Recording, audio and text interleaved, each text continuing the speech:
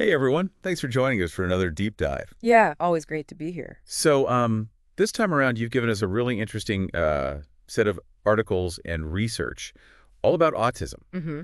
And it looks like you're especially interested in the experience of autistic adults, Yeah. um, and specifically this thing called emotional blunting. Yeah, emotional blunting. We'll definitely get to that, but I noticed there's also quite a bit in here about sensory sensitivities and burnout, Right. the challenges of social situations, relationships, uh, even some stuff on religious trauma. Oh, wow. Yeah. All really fascinating stuff. And we're going to try to touch on all of it. But I think uh, emotional blunting seems like a good place to start. Yeah, I agree. So let's unpack that. Yeah. What is it? Why might it be more common in autistic adults? And what can you do about it Yeah. if this is something that resonates with your own experience? Okay, sounds good. Let's dive in. It's definitely a complex topic with a lot of nuances. So help me understand this. What exactly is emotional blunting? Well, it's sometimes called alexithymia, and it basically means having difficulty identifying and describing your own emotions. Okay. And it's important to note that it's not about not having feelings. Right. It's more about struggling to pinpoint exactly what you're feeling and putting it into words. Okay, so not emotionless, but more of a disconnect between the feeling and actually being able to articulate it. Yeah, exactly. You know, one of the sources that you sent used the phrase muted emotions. Uh, I thought that was kind of an interesting way to put it. yeah, no, I, I think that's a good way to think about it. Imagine being told you're too calm or too analytical in situations where others might be, you know, visibly upset or excited. Right. It's almost like your emotional response is turned down a notch. Yeah, I can see how that would be really confusing for people, Mm-hmm. especially if inside you are experiencing those emotions, you're Mhm. just not expressing them outwardly in the same way that other people might. Exactly. And that's where a lot of the misunderstandings can come in Yeah. because people might misinterpret your lack of outward expression as a lack of feeling. Right, or caring. Exactly. Yeah, one of the research articles you provided described it as feeling like an outside observer of your own emotions. Yes. So instead of experiencing, say, joy directly, you might be thinking, okay, I recognize that this is a situation that typically makes people happy, hmm but I'm not feeling that happiness myself. Right. It's like you're watching yourself go through the motions, but not fully connecting with the emotions themselves. That must make it really hard to connect with other people on an emotional level. It can be a real challenge. You know, it makes me think about that article you included on autism and romantic relationships. Yeah. Where some of the people they interviewed talked about feeling like they were just going through the motions of a relationship hmm without genuinely experiencing those emotional highs and lows that their partner was going through. That's a perfect example of how emotional blunting can impact relationships. And it's not just romantic relationships. It can affect friendships, family dynamics, even interactions at work. Right. So we're starting to see how this can have real world consequences. Yeah. Definitely. But before we go any further down that road, I kind of want to back up a bit. Okay. How does all of this connect specifically to autism? Well, research suggests that emotional blunting is more prevalent among autistic individuals. Right. There are a few possible explanations for this, Okay. and they all point to the unique ways that the autistic brain is wired and the particular challenges that autistic people face. Okay, so this is where it gets really interesting for me. The why behind this connection. Right. So what's going on in the brain that might lead to this experience? Well, studies have shown variations in certain brain areas that are responsible for processing and regulating emotions Hmm. in autistic individuals. Okay. One of the research papers you shared highlighted the amygdala, Okay. which plays a key role in emotional responses and how it might function differently in autistic people. So there are literal physical differences Yeah. in brain structure and activity that might be contributing to this. Exactly. And these differences could contribute to the difficulty recognizing and labeling emotions that we see in emotional blunting. Fascinating. Yeah. So it's not just about, you know, the brain structure itself, Right. it's also about lived experiences. Absolutely. Mm. You can't separate nature from nurture. Right. The social and communication challenges that many autistic people face also play a role. Right. So think about it if you're constantly misinterpreting or being misunderstood in social situations. Yeah. It can be really tough to develop a clear understanding of your own emotional landscape. That makes total sense. Mm-hmm. If the social world feels really confusing and unpredictable, maybe shutting down emotionally becomes a way to cope. Exactly. In fact, one of the personal accounts that you included described exactly that. Mm. Feeling emotionally overwhelmed in social situations and kind of learning to suppress their emotions as a defense mechanism. Yes, Yeah. That's a common experience. Some autistic individuals develop coping mechanisms like suppressing emotions to manage sensory or emotional overload.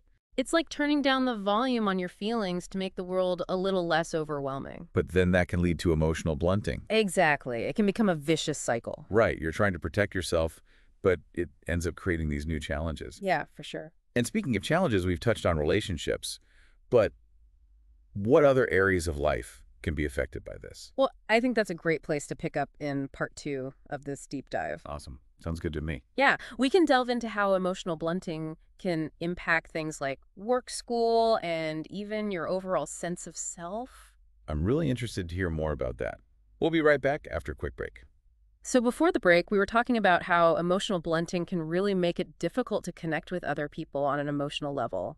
Yeah, and you know, going through all of this research, it seems like that theme of connection just kept coming up over and over again, Yeah, it's a big one. especially when it comes to relationships. There's so much in here about family dynamics, friendships, romantic relationships, even those online communities that you included. Mm-hmm. It seems like understanding these relationships is really key for you. It is, and it makes sense when you consider the unique challenges that emotional blunting can create in those areas. Right. Like, for example, one of the studies you sent actually argues that for some autistic people, Mm-hmm. struggling with emotional literacy can actually lead to social isolation and difficulty forming strong bonds with others. That makes me think about that young woman's blog post that you Yeah. included. Oh, yeah. She talked about feeling like an alien observing human interaction from a distance. Right. Like she desperately wanted to connect, hmm but she just couldn't figure out how to do it authentically. And that's the heartbreaking part about it. You know, Yeah. it's like you see these connections happening around you, right. but you don't quite know how to bridge that gap yourself. Right. So let's say you're in a close relationship with someone Okay. and your partner's upset about something. hmm If you're struggling to even identify your own feelings, Right. how can you possibly respond in a way that's authentic and supportive? It's tough. It's really tough. And that's where things can get tricky. Yeah. It's like that research paper we were discussing earlier Yeah. about emotional mirroring and relationships. Right. If you can't recognize your own emotions, it's going to be that much harder to empathize with what your partner's going through. Exactly. And that lack of emotional mirroring can create a real disconnect in the relationship. Yeah. Your partner might feel like you're not really there for them emotionally, Right. even if you care deeply. Which is so frustrating It is. because you do care. Yeah. It's just that expressing it in a way that other people understand can be so challenging. It's almost like you're speaking different emotional languages. Right. And those subtle cues that we all rely on Right. to understand each other. Like tone of voice, Exactly. facial hmm. expressions, All of that. body language. It can be really difficult to pick up on for someone who's experiencing emotional blunting. So it's easy to see how that could lead to misunderstandings and hurt feelings, mm-hmm. even when there's no ill intention. Right. I'm thinking about those online forums that you shared yeah. where people were talking about accidentally offending their friends Right. or coming across as cold and uncaring, even when that's not at all how they felt. It happens all the time, and it can be really damaging to relationships. And then there's that added layer of complexity when it comes to romantic relationships. Right. Because so much of building intimacy relies on that vulnerability. Yeah, Being able to share your feelings openly and honestly with your partner. It's essential for a healthy relationship. Right. Yeah. And that can be incredibly difficult if you're struggling with emotional blunting. Yeah, it can feel like a huge barrier. This makes me think of that other research paper that talked about the importance of clear communication in autistic relationships. Oh, yeah, that's a good one. Really highlighted how crucial it is for both partners to understand and accept those differences in emotional expression. Yeah, it's not about trying to change each other. Right. It's about learning how to communicate effectively despite those differences. So it's about recognizing that those differences don't have to be deal breakers. Exactly. They just require a little more effort and understanding to navigate. Right. You know, you included quite a bit of research on family relationships as well, Yes, which I think is particularly relevant here absolutely. because family dynamics can be incredibly complex for anyone. Yeah, for sure. But for autistic individuals who already feel different or misunderstood, hmm those complexities can feel even more magnified. Especially if there's a lack of understanding or acceptance of autism within the family. Right. I'm thinking about that one article that talked about the double empathy problem. Oh, yeah. The idea that communication breakdowns often happen because both autistic and non-autistic people struggle to understand each other's perspectives. That's a really important concept to keep in mind. And then when you layer emotional blunting on top of that, Right. it's easy to see how those communication breakdowns could become even more frequent and frustrating. For sure. And it can lead to a lot of hurt feelings on both sides. There were some really powerful anecdotes in that family support group forum that you shared. Mhm. A lot of parents were expressing concern about their autistic children struggling to express affection Yeah. or feeling disconnected from family events. It's common worry. It just highlights the need for open communication within families, Absolutely. especially when an autistic family member is dealing with emotional blunting. It's crucial to create a space where everyone feels safe to express themselves, Right. even if those expressions are different from what's considered typical. So it's about recognizing and validating those differences Exactly. rather than trying to force everyone into the same emotional mold. Right. We need to celebrate neurodiversity, not try Mhm. to erase it. And this brings us to a recurring theme in your research that I found really empowering. Oh, yeah. the concept of self-advocacy. Yes. Self advocacy is so important. There was so much about the importance of autistic individuals learning to advocate for their own needs and experiences. Right. And I can see how that would be especially crucial when it comes to emotional blunting. It is. Because it's not always easy for others to understand what you're going through if you can't fully articulate it yourself. Right. So, learning to advocate for your needs becomes essential.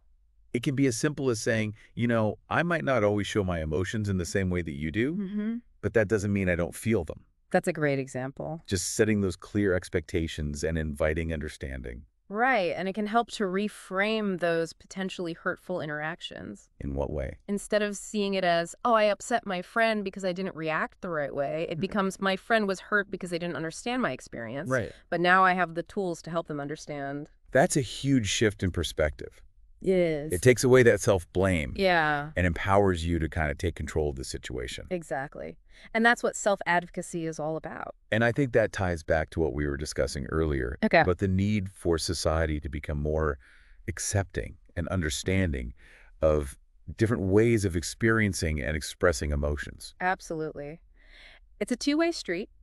Autistic individuals can learn to advocate for themselves, Right. but it's also up to society to create a more inclusive and welcoming environment where those differences are celebrated rather than stigmatized. So it's not just about individuals adapting. right. It's about systemic change as well. Exactly. And that change starts with awareness and understanding. The fact that you're taking the time to delve into this topic is incredibly encouraging. Well, I'm glad. And, you know, there's still so much to unpack from the research you shared. We've only briefly touched on sensory sensitivities and burnout. Right. So should we dive into those next? Let's do it.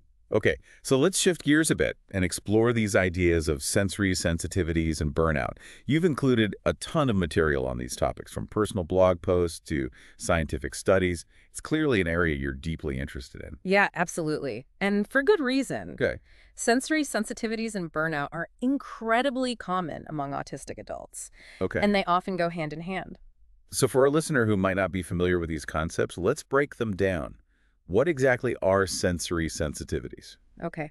So imagine how you react to certain sounds, smells, textures, or even visual input.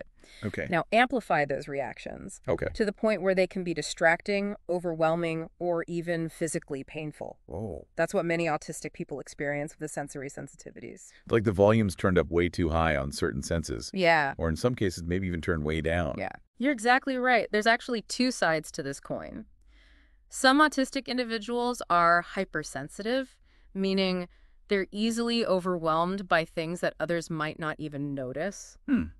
Think about the hum of a fluorescent light or the feel of a certain fabric. Okay. Those can be incredibly intense experiences for someone with hypersensitivity. That reminds me of that blog post you sent where the writer described grocery shopping as an absolute nightmare Oh, yeah. because of the overwhelming combination of fluorescent lights, crowds, and unexpected noises. Yeah, it's a sensory overload nightmare for many people. Right. And it's a great example of how something most people take for granted can be a real struggle for someone with sensory sensitivities. Yeah, and then on the flip side, some people are hyposensitive. Right. They crave those more intense sensory experiences Exactly. and might seek out things like loud noises, bright lights, strong smells. Right. They might need that extra input to feel regulated. So it's almost like their sensory thermostat is set differently. I like that analogy. Right. What feels just right to one person can be completely overwhelming or e even underwhelming to another. Exactly. And the key takeaway here is that these sensitivities can impact every aspect of life. Trying to focus at work when the sound of a nearby conversation is sending shivers down your spine, or struggling to enjoy a social gathering because the lighting is too harsh. Right. These are common experiences for people with sensory sensitivities. Yeah, it really paints a picture of how exhausting it can be Hmm. to constantly navigate a world that doesn't seem to fit your sensory needs. It's a constant battle for many people. And speaking of exhaustion, this brings us to the topic of burnout, Okay. which seems to be closely linked to sensory overload. Yeah, it definitely is a contributing factor. In fact, you included a study that found a really strong correlation Mhm. between the severity of sensors, uh, sensitivities and the likelihood of experiencing burnout. It's a big one. But you know, burnout is more than just feeling tired. Absolutely. It's a state of emotional, physical, and mental exhaustion caused by prolonged exposure to overwhelming stressors. And for autistic individuals, those stressors can include not just sensory overload, but also the constant effort of navigating a world that's not designed for their neurology. Right, so it's like you're carrying this extra weight all the time Yeah. just to try to fit in. Exactly. Imagine having to mask your autistic traits all day long just to avoid negative reactions from others, or constantly trying to decipher social cues and expectations that feel confusing and illogical. You're essentially running a marathon every day just to keep up with the demands of normal life. Wow, that's such a powerful image. It is. It's exhausting. And it makes me think of those forum posts that you shared where people described feeling like they were constantly on stage, Mhm. performing a role that didn't feel authentic to who they were. Yeah, that's a common experience. Right. And then over time, that constant effort takes a toll. It does. It really does. Increased anxiety, depression, irritability, difficulty concentrating, even physical symptoms like headaches or insomnia. These are all signs of burnout. So what can you do if you're listening to this and you're thinking, wow, this is me. I'm experiencing burnout. What are some practical steps? Well, the first step is recognizing that burnout is a real thing and it's not a sign of weakness. Okay. It's a sign that you've been pushing yourself too hard for too long. okay, so what does self-care look like in this context? Okay, well, there are a few key things to focus on. Identifying your sensory triggers and finding ways to minimize exposure to them is crucial. That might mean wearing noise-canceling headphones in loud environments, seeking out quiet spaces when you need a break, or even something as simple as choosing clothes that feel comfortable on your skin. It's about creating a sensory environment that feels safe and supportive.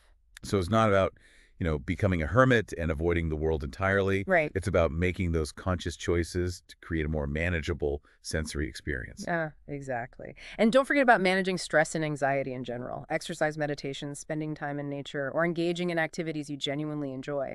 Right. These can all help to replenish your energy and build resilience. So it's about finding those things that bring you joy and make you feel more like yourself. Exactly. And, you know, that brings to mind that book that you included on autistic joy Oh, yeah. that argued we need to focus more on what brings autistic people happiness and fulfillment Absolutely. rather than just focusing on the challenges. Right. Celebrating those moments of joy and finding ways to cultivate more of them is essential, especially when you're battling burnout. And remember, self-care also means setting boundaries and saying no to things that drain your energy. It's okay to decline social invitations if you're feeling overwhelmed. It's okay to ask for accommodations at work or school. It's about prioritizing your own needs and well-being, which can be tough, but so important. It's like giving yourself permission to put on your own oxygen mask first, Exactly. right? You can't help others if you're not taking care of yourself. That's a perfect way to put it. And finally, never hesitate to seek professional support. A therapist can help you develop coping strategies, connect you with resources, and provide a safe space to process your experiences. This has been such a rich and informative deep dive. As we wrap up, is there one final thought you'd like to leave our listener with? All the challenges we've discussed, emotional blunting, sensory sensitivities, burnout, they're all part of the autistic experience, but they don't define you. Yeah. You are a complex individual with unique strengths, talents, and perspectives, and the world needs those strengths, talents, and perspectives. Never stop exploring, never stop learning, and never stop sharing your authentic self with the world. That's beautiful. And on that note, we're going to wrap up this deep dive. We hope this exploration has provided some valuable insights and sparked further curiosity for you. Remember, knowledge is power, and the more we understand about ourselves and each other, the more connected and compassionate our world can become. Keep diving deep.